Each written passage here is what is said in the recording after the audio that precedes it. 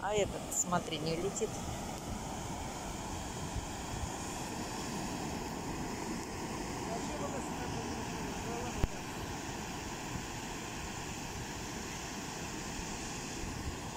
Кошак поймал чайку.